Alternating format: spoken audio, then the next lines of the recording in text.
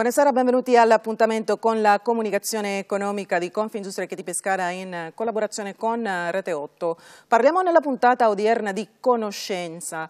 Pensate, la conoscenza può trasformarsi da opportunità, da vantaggio competitivo per eh, le aziende in eh, potenzialmente un rischio se non opportunamente eh, gestita. C'è una definizione in inglese, knowledge risks, per individuare tutti quei parametri che appunto fanno sì che si possa eh, far ricondurre eh, queste dinamiche alla eh, tematica del rischio di impresa. Ne parliamo con gli ospiti che sto per eh, presentarvi appunto per capirne qualcosa di eh, più. In collegamento abbiamo Francesca Di Virgilio che è professore ordinario in organizzazione aziendale e gestione delle risorse del Dipartimento di Economia Università degli Studi del Molise. Buonasera.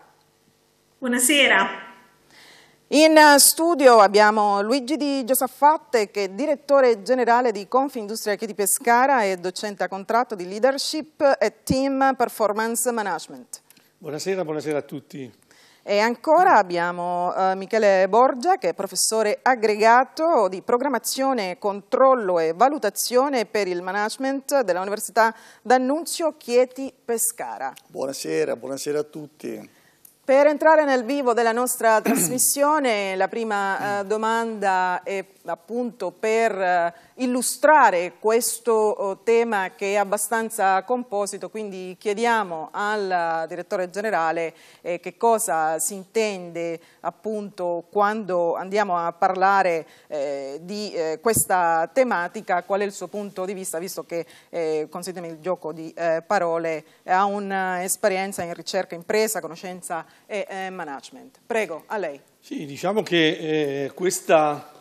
eh, che diventa oggi un'esigenza di ricercare quale sia eh, il rischio eh, della conoscenza rispetto a quanto le imprese resistano sul mercato non solo dal punto di vista della tecnologia ma anche dal punto di vista gestionale, quando gestiamo le persone nelle, nelle organizzazioni aziendali, eh, diventa un tema sempre più preponderante, un tema che eh, ormai nel globo trova eh, ricerche importanti, ma siamo ancora, questo è il mio punto di vista, ancora in una fase iniziale dove molto dobbiamo fare per cominciare per esempio a parlare di misurazione del rischio, di eh, diciamo, eh, capacità di catalogare e classificare le tipologie eh, di rischio della conoscenza. E su questo devo dire che il nostro territorio oh, eh, sta lavorando perché eh, si possa in qualche modo eh, cominciare eh, ad avviare una ricerca concreta, puntuale, territoriale su quello che può essere il gap tra l'innovazione o la conoscenza dell'innovazione per le nuove competenze e per le nuove abilità, le nuove skill che il lavoratore del terzo millennio dovrà in qualche modo possedere. Quindi è una tematica che eh, ci pone di fronte ad un, eh, appunto, un argomento che riguarda l'oggi ma che ha uno sviluppo in futuro a seconda delle varie dinamiche. Assolutamente sì, è uno sviluppo che tocca un po' tutti, in particolare il nostro Paese che trova una problematica demografica ancora più forte. E quindi se pensiamo che eh, eh, nel 2050 avremmo, uh, diciamo, eh, potremmo uh, arrivare ad avere più 2 milioni o più 6 milioni di eh, eh, anziani, eh, di persone che sono oltre l'età lavorativa, questo pone un problema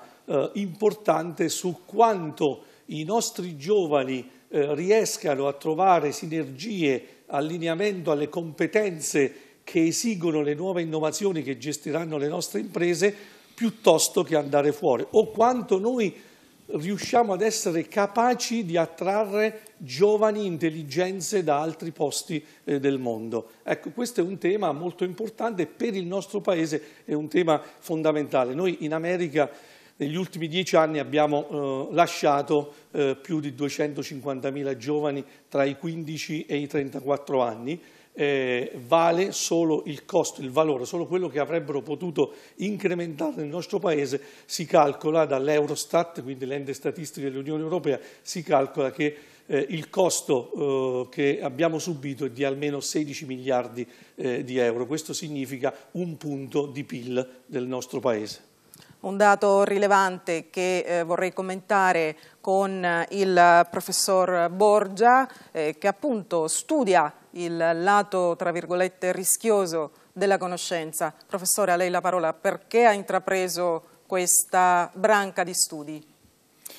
Grazie. Ma il tema di fondo io l'ho vissuto sia come ehm,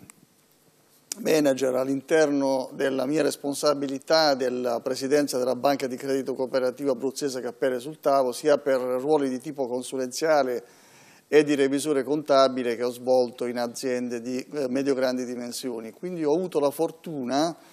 di poter vivere, seppur in maniera non sistemica, ma in maniera ovviamente circoscritta ai ruoli che andavo a svolgere, eh, alcuni fenomeni che hanno suscitato in me grande curiosità e su cui eh, eh ho, ho, avuto voglia di confrontarmi con chi, eh, svolgendo invece in maniera professionale eh, ehm, la propria attività lavorativa al vertice di strutture aziendali complesse, eh, poteva appunto darmi conforto. La cosa è accaduta qualche anno fa eh, grazie alla mia amicizia con il compianto dottor Domenico Moretti, che è stato per 30 anni a capo del, delle risorse umane del gruppo De Cecco, un grande manager, un grande conoscitore delle dinamiche relazionali eh, all'interno delle strutture organizzative complesse con cui ebbi eh, la possibilità di eh, appunto confrontarmi e individuare con lui eh, un viatico, un, un, percorso che poteva veramente ehm, sottoporre ad una valutazione di tipo scientifico eh, stu uno studio specifico su questi temi e poi eh, attraverso questo studio la creazione di una piattaforma condivisa che potesse mettere a disposizione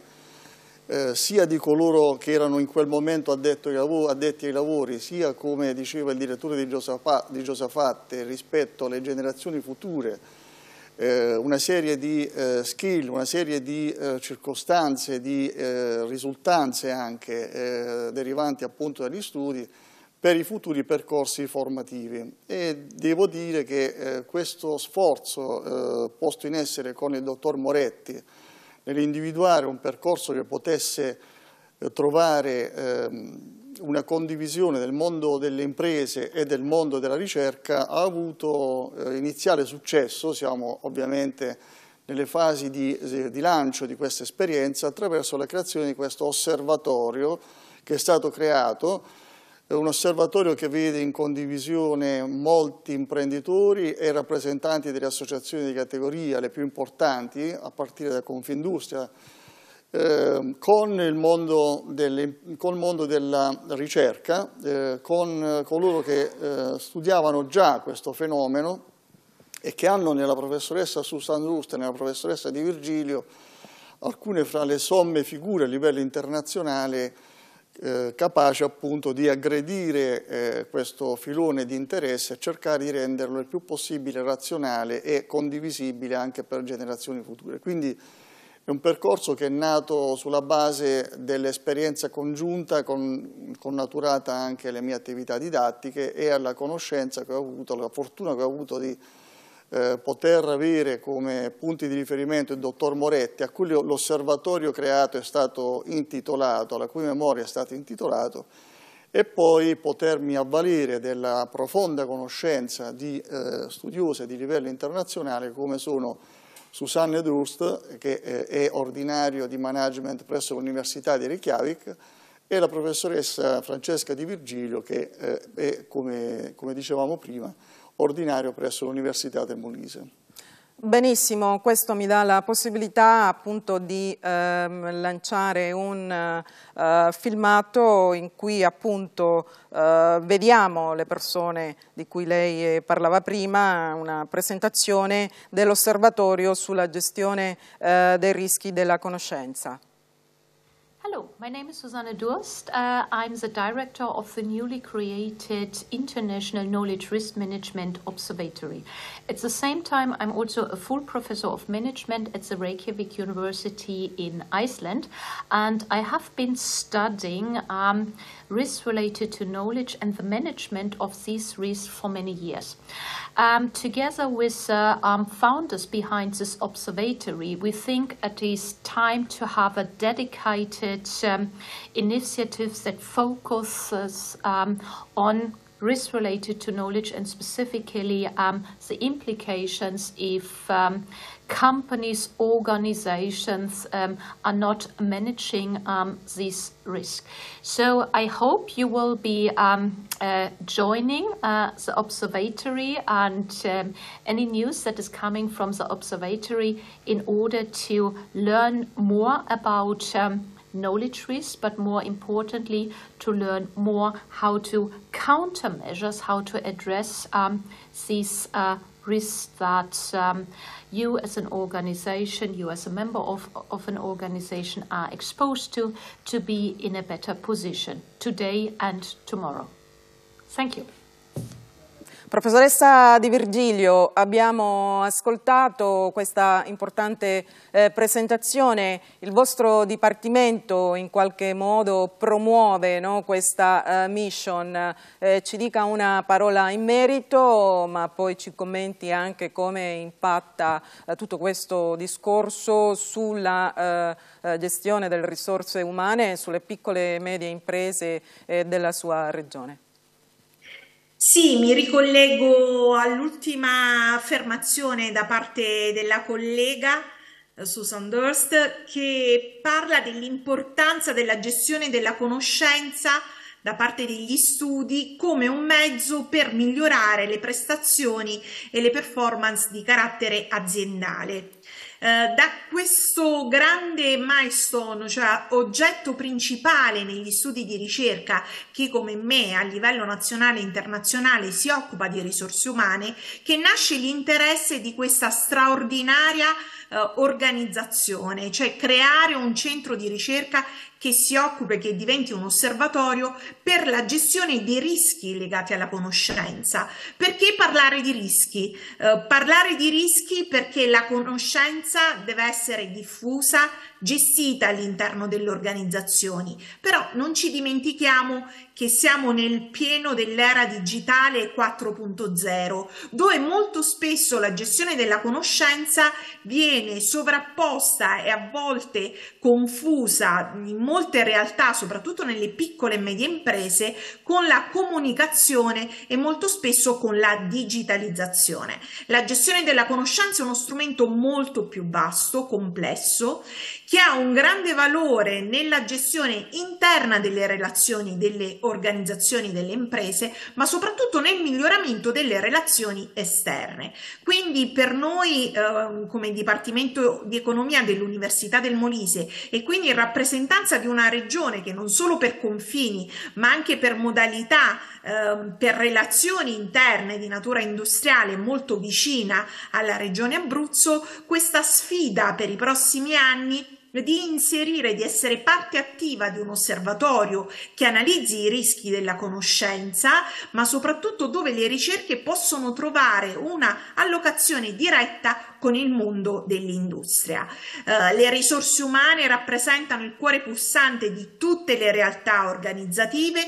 Nelle piccole e medie imprese le risorse umane diventano un valore fondamentale insieme agli aspetti di natura economica finanziaria. Questi soltanto alcuni degli aspetti che eh, mi rendono da studiosa e entusiasmata di far parte eh, nel prossimo futuro di quelle che saranno le attività che l'osservatorio su campo metterà in entrambe le, ragio- le regioni, sia in Abruzzo che in Molise. Grazie. Ehm, ci ha dato un input importante che vorrei girare al direttore di Giusaffatti, appunto lei parlava no, di questo mondo vorticoso e di ehm, una comunicazione che è molto capillare ma che molte volte viene ehm, confusa appunto eh, con la conoscenza che come ben spiegava è, è tutt'altro, insomma è molto altro eh, direi, quindi vado dal direttore di Giosafatte, come vogliamo commentare ciò e mh, mm, poi soprattutto come si ricollega eh, tutto ciò che abbiamo ascoltato con eh, il discorso riguardante appunto la crescita del territorio, la capacità di saper eh, colmare i gap, creare sinergie. Assolutamente positivo quello di eh, mettere sul campo ricerche, a cominciare da un osservatorio che determini non solo i rischi della conoscenza ma anche le opportunità di una eh, giusta dimensione eh, della conoscenza, di una giusta gestione della conoscenza. Noi eh, ritenendo come Confindustria Chiedi Pescara che eh, per uno spaccato prettamente industriale e, e organizzativo eh, venga sempre più a determinare questa società che Bauman definiva liquida, che io nel mio penultimo libro sul futuro del lavoro ho definito gassosa, cioè una società che eh, cambia paradigmi e lavora sempre e costantemente su un paradigma della complessità noi non lavoreremo più nelle organizzazioni e nei gruppi collettivi sociali per eh, diciamo, oh, paradigmi semplici, noi lavoreremo sempre più su paradigmi complessi. Questo significa che dobbiamo essere sempre e costantemente mh, allineare, essere allineati nelle organizzazioni di persone, lo diceva giustamente eh, la professoressa Di Virgilio, eh, allineare e trasversalizzare la conoscenza come un modello di apprendimento to cure, un modello di apprendimento che si gestisce non solo dentro l'azienda, più che di formazione e di apprendimento, un tema dove spesso Claudio Bonasia, eh, con me ha scritto appunto questo libro Dalle ore lavoro alle ore valore, eh, eh, si dice eh, trasformiamo, non parliamo oggi di formazione, parliamo di apprendimento. Io ho sostituito eh, diciamo, più che sostituito, allargato il concetto di formazione, formazione e vita e formazione dalla culla alla barra. Noi dobbiamo costantemente non solo formarci, ma rendere nelle organizzazioni la possibilità della conoscenza in, in indipendentemente dai temi di cui trattiamo, digitalizzazione, industria 4.0, IoT, intelligenza artificiale, di tutto, essere trasversale, allargare sempre di più la conoscenza nelle organizzazioni aziendali sarà determinante per eh, avere sempre a portata di mano le nuove abilità, le nuove competenze che arriveranno. Noi su questo abbiamo rilasciato un progetto, un'iniziativa strategica, si chiama tecnicamente, finanziata da fondi rigenti già nel 2020, il 12 dicembre 2020 eh, siamo riusciti a chiudere questo progetto eh, grazie anche a una uh, spin-off dell'Università d'Annunzio che eh, vinse il bando per la realizzazione del progetto scritto da Confindustria Chiedi Pescara e da Federmanager Abruzzo e Molise, eh, dove abbiamo determinato nelle due province un modello che è replicabile in tutte le province italiane. Sul portale di fondirigenti.it si troverà proprio il report scientifico di questo progetto eh, ed è possibile appunto geolocalizzare le innovazioni delle aziende non traendole dai codici Ateco come eh, diciamo, eh, abbiamo eh, fatto fino a qualche anno fa nelle varie ricerche, ormai sono superati nel nostro paese i codici Ateco, ma attingono con sistemi di intelligenza artificiale ai modelli eh, dei portali delle aziende che noi andiamo a studiare. E su quello determinare l'innovazione e verificare sempre con algoritmi di intelligenza artificiale quali sono le competenze che i lavoratori e i manager dovranno possedere per essere protagonisti nella realizzazione di quelle innovazioni. Ripeto, innovazioni a 360 gradi, non pensiamo solo all'aspetto tecnologico, a cose nuove, cose che fino a ieri non abbiamo fatto e che faremo eh, nei prossimi anni, ma probabilmente per pochi anni e poi faremo anche ulteriori nuove cose. Ecco, noi stiamo preparando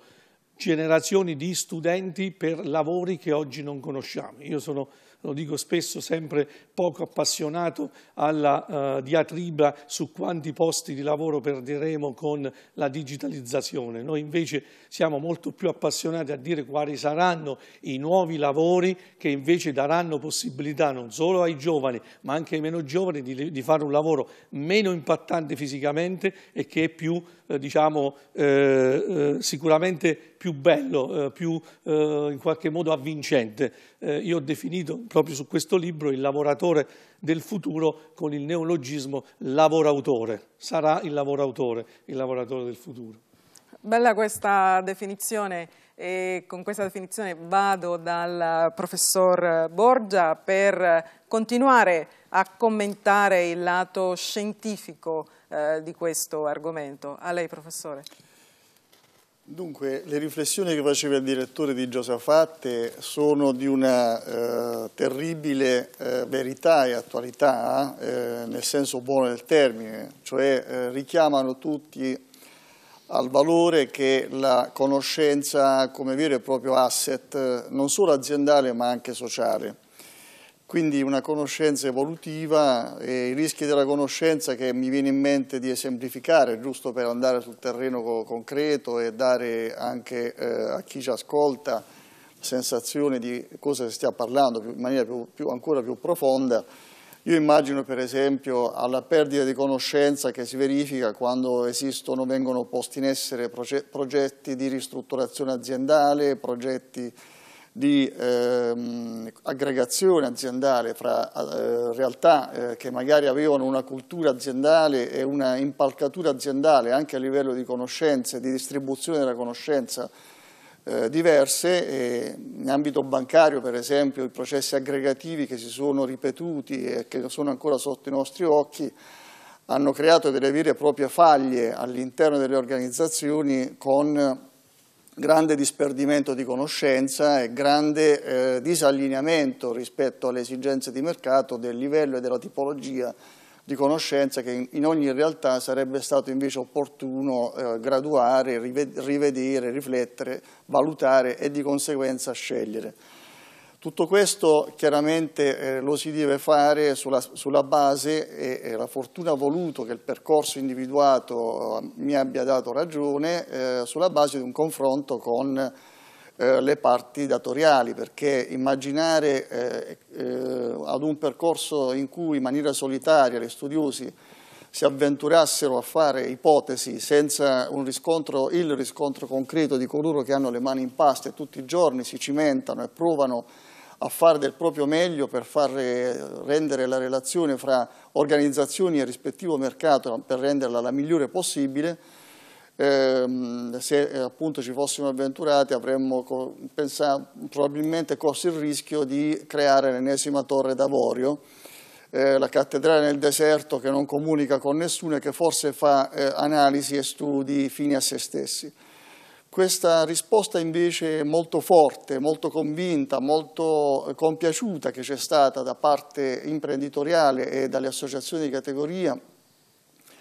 Mi ha dato subito l'evidenza di quanto questa esigenza fosse, questo bisogno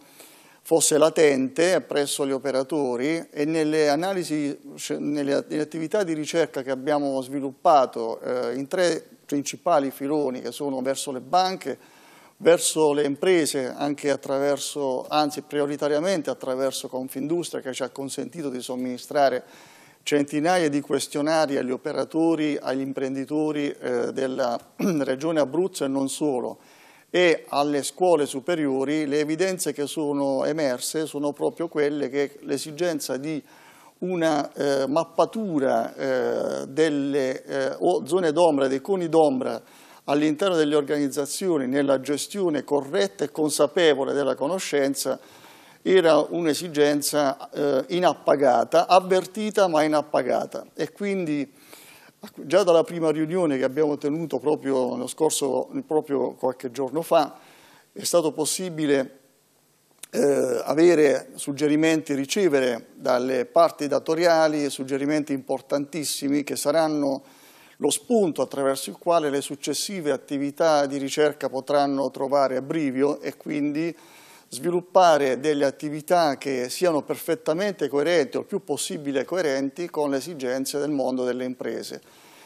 Eh, credo che in questa fase eh, non sia sufficiente eh, ipotizzare come finalità ultima semplicemente la costruzione di un bagaglio magari formidabile di informazioni sul tema,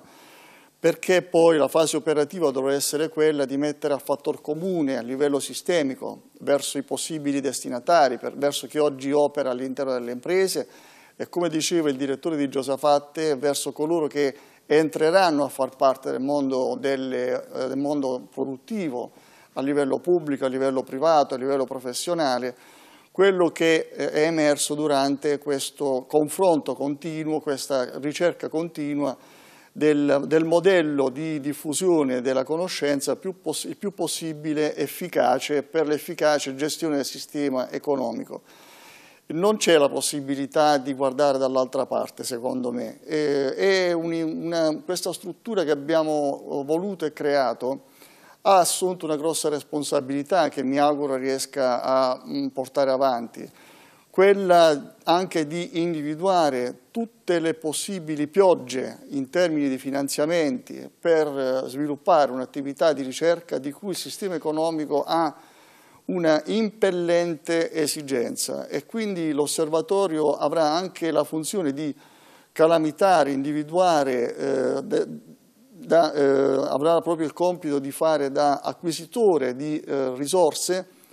per sviluppare comunque costosi programmi di ricerca che possono mettere a disposizione degli studiosi e degli operatori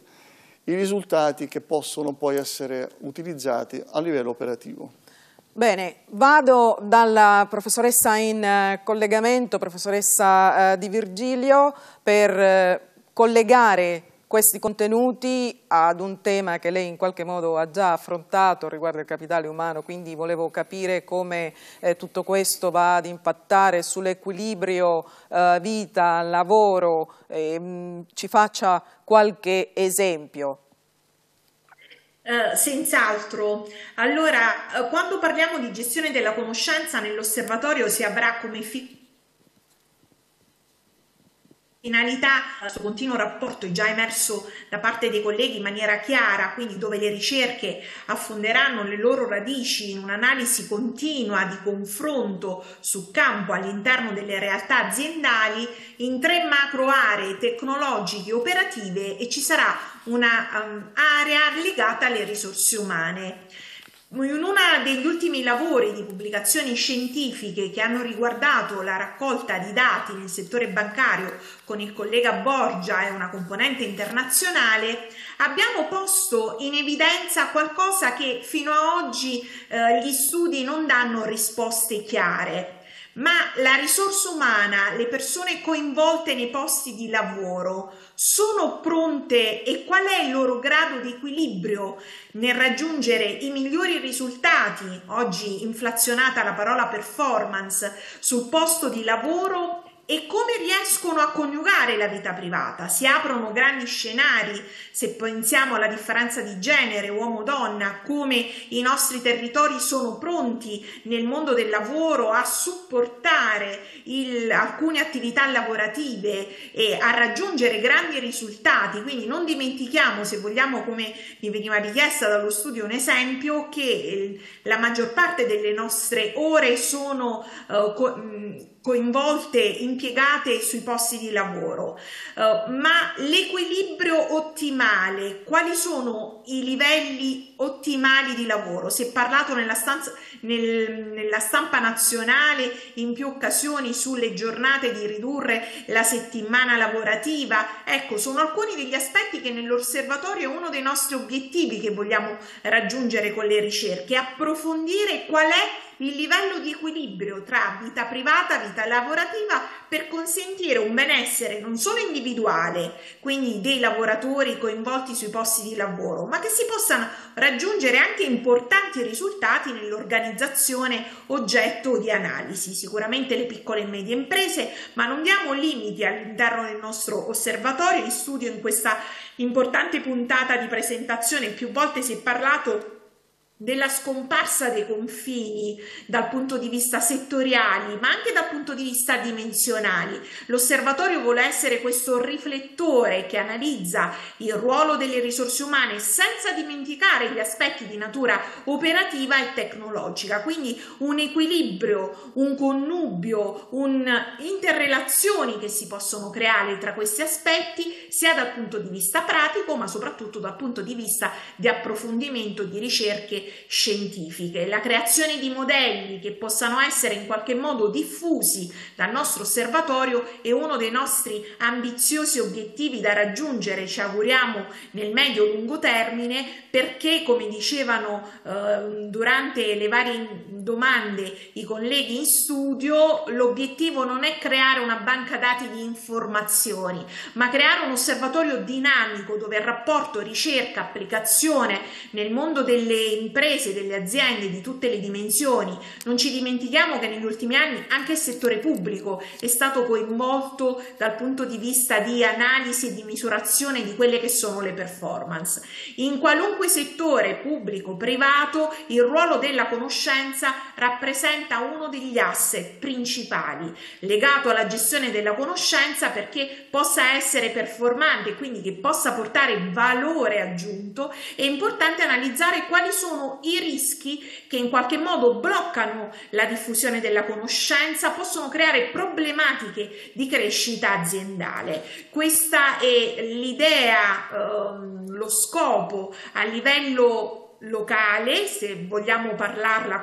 vogliamo individuarla in questo modo, quindi di un osservatorio regionale che coinvolge due regioni ma che guarda con uno sguardo internazionale, quindi alle politiche globali eh, che vanno a influenzare in ricaduta eh, anche i nostri territori e le nostre realtà organizzative. Perfetto professoressa, un'ottima chiusura, approfitto per eh, salutarla e ringraziarla per eh,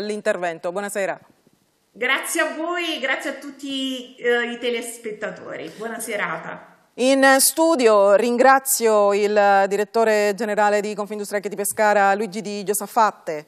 Grazie, buona serata a tutti. Il professor Michele Borgia. Buonasera, grazie a voi. Per eh, la regia e le riprese rispettivamente ringrazio Danilo Cinquino e Alberto Capo, ringrazio tutti voi telespettatori per averci seguito, appuntamento alla prossima puntata.